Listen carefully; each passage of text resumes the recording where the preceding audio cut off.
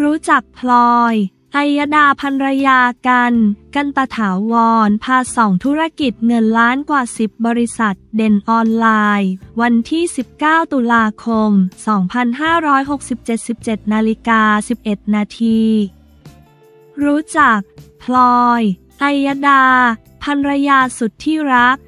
กันกันตถาวร โปรไฟล์ไม่ธรรมดา สวยรวยเก่งครบเครื่องพาสองธุรกิจเงินล้านกว่า 10 บริษัท เมื่อวันที่ 19 ตุลาคม 2567 หลังนักแสดงพิธีกรชื่อดัง กันกันตถาวร ได้ถูกจับกลุ่มตัวเนื่องจากพัวพันกับคดี The Icon Group ถูกฝากขังรอสอบสวนที่เรือนจำพิเศษกรุงเทพมหานครด้าน พลอย อัยดาภรรยากันต์ กันตถาวร ก็ได้มีการเคลื่อนไหวโดยทำการปิด comment ภายในอินสตาแกรมส่วนตัว หลังถูกชาวเน็ตจี้ ถามปม The iCon Group รัวๆ ทั้งนี้ พลอย อัยดา ยังไม่ปรากฏชื่อถูกกล่าวหา หรือถูกแจ้งความร้องทุกข์ในคดีที่เกี่ยวข้องกับดีไอคอนกรุ๊ป แต่อย่างใด อ่านข่าวเพิ่มเติม เปิดอาการล่าสุด พลอย หลัง กันต์ กันตถาวร ถูกจับทำชาวเน็ต แห่สงสารสุนัข กันต์ พลอย เปิดตู้เสื้อผ้าหลักล้าน แถมเปิดแอร์ ให้กระเป๋าไม้แขวนเสื้อหลักแสน ชาวเน็ตขุดภาพ กันต์ กันตถาวรเซอร์ไพรส์ ภรรยาวางเงินก้อนโตไว้ใต้หมอน พลอยไอยดา ภรรยา กันต์ กันตถาวร ให้กำลังใจสามีเจอทัวร์ลงยับแถมโดนแฉไม่จบง่ายๆ ชาวเน็ต ขุดโพสต์ เก่าพลอย ภรรยา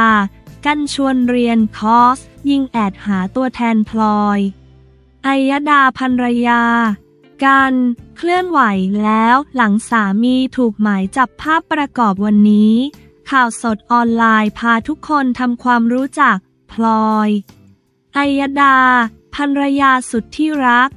กันกันตถาวร โปรไฟล์ไม่ธรรมดา สวยรวยเก่งครบเครื่องประวัติ พลอยไอยดา พลอยไอยดากันตถาวร นามสกุลเดิมสีมูลตรี เกิดวันที่ 5 กุมภาพันธ์ 2533 อายุ 34 ปี พื้นเพเป็นชาวจังหวัดอุดรธานี จบการศึกษาระดับปริญญาโท จากจุฬาลงกรณ์มหาวิทยาลัย เคยเป็นเจ้าของธุรกิจชูคอลล่าคอลลาเจน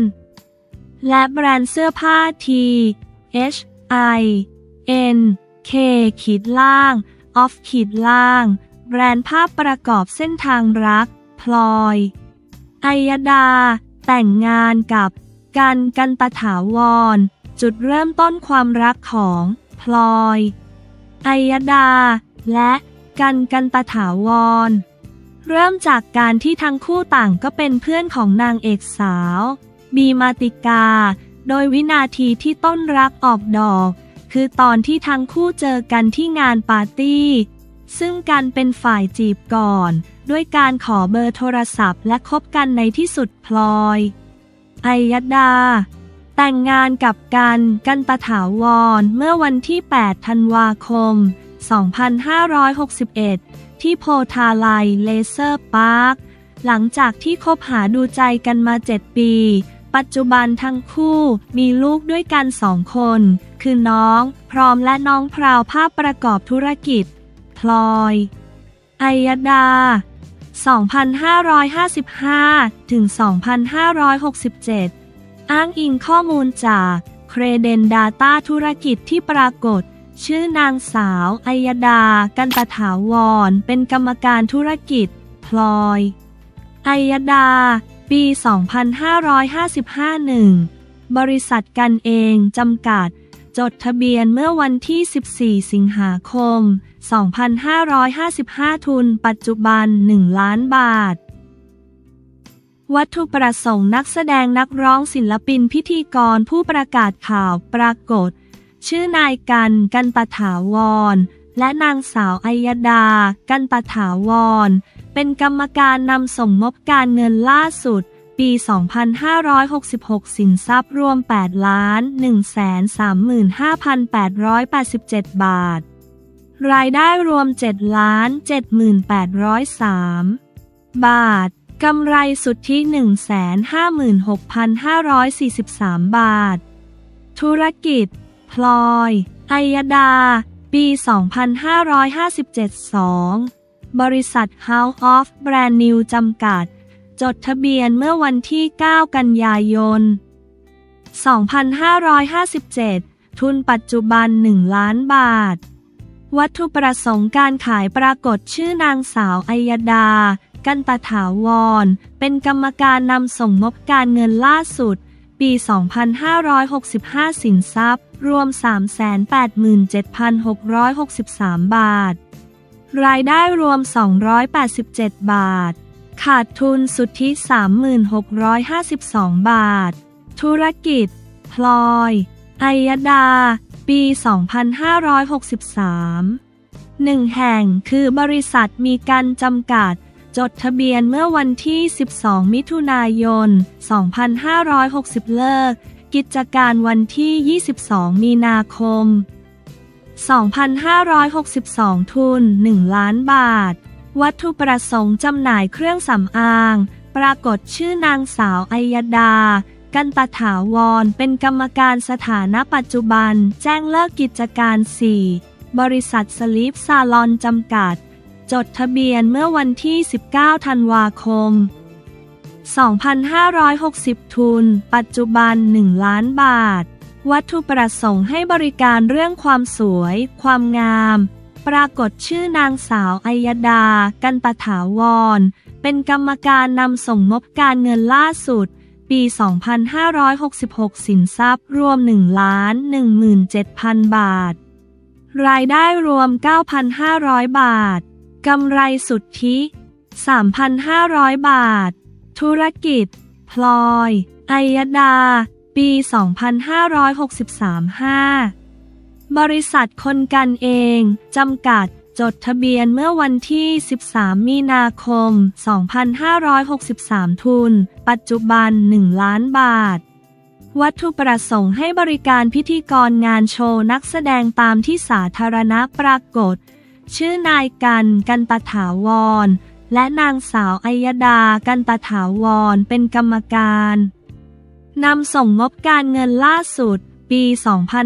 2566 สินทรัพย์รวม 12 ล้าน 224,236 บาท รายได้รวม 9 ล้าน 431,648 บาท กำไรสุทธิ 758,332 บาท 6 บริษัทลาบนัวสาขาสยามจำกัด จดทะเบียนเมื่อวันที่ 13 พฤษภาคม 2563 ทุน ปัจจุบัน 1 ล้านบาท วัตถุประสงค์ประกอบกิจการค้าปลีก หรือส่งเพื่อการขายอาหารที่ปรุงสำเร็จ ให้ผู้ซื้อสามารถบริโภคได้ทันที ปรากฏชื่อนางสาวอัยดากันตถาวร เป็นกรรมการนำส่งงบการเงิน ล่าสุดปี 2565 สินทรัพย์รวม 253,952 บาท รายได้รวม 2,400 บาท ขาดทุนสุทธิ 3,600 บาท ภาพประกอบธุรกิจ พลอยไอยดา ปี 2564 7 บริษัทกันพลอยแอนเดอะเบบีจำกัด จดทะเบียนเมื่อวันที่ 14 ตุลาคม 2564 ทุนปัจจุบัน 1 ล้านบาท วัตถุประสงค์ให้บริการพิธีกรงานโชว์นักแสดงตามที่สาธารณะปรากฏ ชื่อนายกันกันตถาวร และนางสาวอัยดา กันตถาวร เป็นกรรมการนำส่งงบการเงินล่าสุด ปี 2566 สินทรัพย์รวม 5 ล้าน 588,435 บาท รายได้รวม 23 ล้าน 2,8,050 บาท กำไรสุทธิ 2 ล้าน 154,215 บาท ธุรกิจ พลอยไอยดา ปี 2565-8บริษัทของกันเอง จำกัด จดทะเบียนเมื่อวันที่ 9 พฤษภาคม 2565 ทุน ปัจจุบัน 1 ล้านบาท วัตถุประสงค์ให้บริการพิธีกรงานโชว์นักแสดงตามที่สาธารณะปรากฏ ชื่อนายกันกันตถาวร และนางสาวอัยดากันตถาวรเป็นกรรมการนำส่งงบการเงินล่าสุดเมื่อปี 2566 สินทรัพย์ รวม 681,062 บาท รายได้รวม 986,334 บาท กำไรสุทธิ 433,517 บาท ธุรกิจ พลอยอัยดา ปี 2567 9 บริษัทแค่คิดก็รวยแล้วจำกัด จดทะเบียนเมื่อวันที่ 11 มิถุนายน 2567 ทุนปัจจุบัน 1 ล้านบาท วัตถุประสงค์การบริการด้านอาหารในพัตตาคาร ร้านอาหาร ปรากฏชื่อนางสาวอัยดากันตถาวรเป็นกรรมการ ยังไม่มีข้อมูลงบการเงิน 10 บริษัทวีแคร์อลอดจำกัด จดทะเบียนเมื่อวันที่ 12 มิถุนายน 2567 ทุนปัจจุบัน 1 ล้านบาท วัตถุประสงค์ประกอบกิจการเวชกรรมคลินิกเสริมความงาม ปรากฏชื่อนางสาวอัยดา กันตถาวรเป็นกรรมการ ยังไม่มีข้อมูลงบการเงิน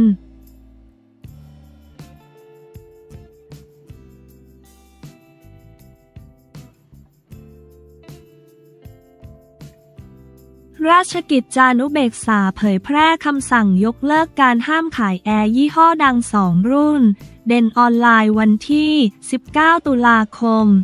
2567 13นาฬิกา51 นาทีราชกิจจานุเบกษาเผยแพร่คำสั่งยกเลิกการห้ามจำหน่ายเครื่องปรับอากาศไฮเออร์สองรุ่น ก่อนผ่านการทดสอบแล้ว เป็นไปตามเกณฑ์ที่กำหนดจึงสั่งให้แก้ไขคำสั่งเดิม เมื่อวันที่ 18 ตุลาคม 67 ผู้สื่อข่าวรายงานว่า ราชกิจจานุเบกษา เผยแพร่คำสั่งคณะกรรมการว่าด้วยความปลอดภัยของสินค้า และบริการ เรื่องยกเลิกการห้ามขายสินค้า หรืออุปกรณ์ที่มีรังสี UVC ของบริษัท Higher Electricon Apply and ประเทศไทย จำกัด หลังจากคณะกรรมการว่าด้วยความปลอดภัยของสินค้าและบริการ ออกคำสั่งเมื่อวันที่ 6 พฤศจิกายน 2563เรื่องห้ามขายสินค้า หรืออุปกรณ์ UVC ชั่วคราว เนื่องจากสถานการณ์แพร่ระบาดเชื้อไวรัสโคโรนา 2019 ในประเทศไทยมีผู้ประกอบการนำเข้า ผลิตหรือจำหน่ายสินค้าที่มีลักษณะเป็นโคมไฟฆ่าเชื้อโรคแบบพกพา กระเป๋าฆ่าเชื้อโรคอเนกประสงค์ เครื่องดูดกำจัดไรฝุ่นด้วยรังสี UV หรืออุปกรณ์ฆ่าเชื้อแบบพกพาในรูปแบบต่างๆ จำหน่ายแก่ผู้บริโภคเพื่อใช้ในบ้าน อ้างสรรพคุณฆ่าเชื้อโรคแบคทีเรีย ไรฝุ่นป้องกันเชื้อไวรัสโควิด ซึ่งจากข้อมูลสถาบันโรคผิวหนัง กรมการแพทย์กระทรวงสาธารณสุข และราชวิทยาลัยจักษุแพทย์แห่งประเทศไทย ได้เผยแพร่ข้อมูลของโทษการใช้รังสี UVC โดยตรงอาจเป็นสาเหตุการเกิดโรคมะเร็งผิวหนัง และเป็นอันตรายต่อดวงตาทำให้เกิดต้อกระจกตา อักเสบ หรือจอประสาทตาเสื่อมก่อนวัยอันควร ซึ่งเป็นอันตรายต่อผู้บริโภคได้ และให้ผู้ประกอบธุรกิจติดต่อเข้ามา เพื่อจัดทดสอบหรือพิสูจน์ว่า อุปกรณ์ไม่เป็นอันตรายต่อผู้บริโภค บัดนี้ บริษัท Higher Electricon Apply and ป ประเทศไทย จำกัด ได้ติดต่อสำนักงานคณะกรรมการคุ้มครองผู้บริโภค เพื่อจัดให้มีการทดสอบสองประเภท คือ 1. เครื่องปรับอากาศยี่ห้อไฮเออร์รุ่น HCS 1 L 18 ASR 32 F 2เครื่องปรับอากาศยี่ห้อไฮเออร์รุ่น HCS 1 L 25 ASR 32 F ผลการทดสอบ เป็นไปตามเกณฑ์ที่กำหนดจึงได้มีคำสั่งให้แก้ไขคำสั่งเดิม มีผลบังคับตั้งแต่บัดนี้